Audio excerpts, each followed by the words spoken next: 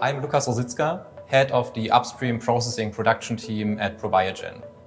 ProBioGen is a Berlin-based specialist for the development and production of biopharmaceutical active ingredients, viral vectors and vaccines more than 300 highly skilled and experienced employees working on the creation and development of new therapies, new innovations for our worldwide customers. Speaking about our upstream processing team, we are developing optimized, robust and scalable production processes in a close partnership with our customers and of course according to their requirements. Our production facility is equipped with single-use bioreactors, uh, with a maximum scale of 1000 liter.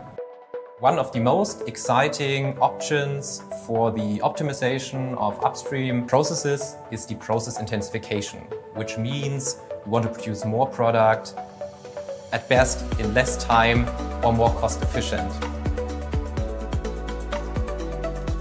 At the moment, we are testing the GEA kytero 500 system in a setup with a 200 liter fed batch system to test different parameters in order to evaluate the uh, cell separation performance of this system.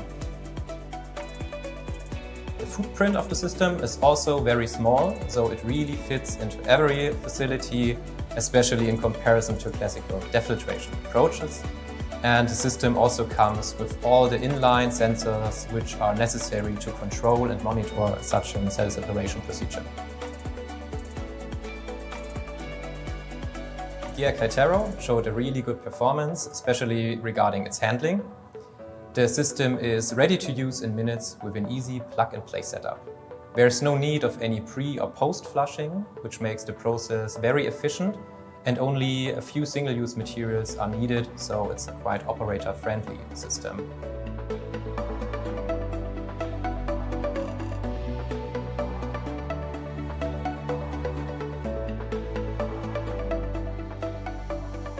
Process intensification also comes with new challenges for our well-established procedures, especially if we are talking about higher cell densities.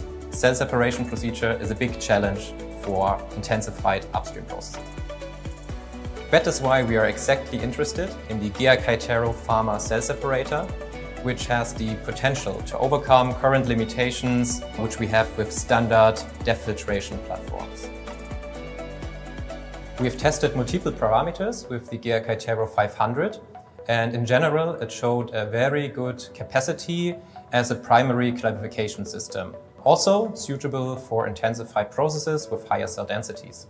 Of course, in dependence on the product, and the final bioreactor characteristic, a small area secondary depth filtration, or for processes with really good viability and low turbidity, a direct 0.2 micrometer filtration is possible to finalize the harvest bulk.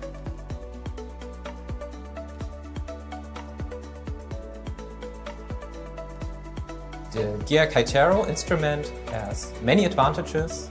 We are really happy with the test of the system and it was also a very good collaboration with GEA, always in partnership and solution oriented.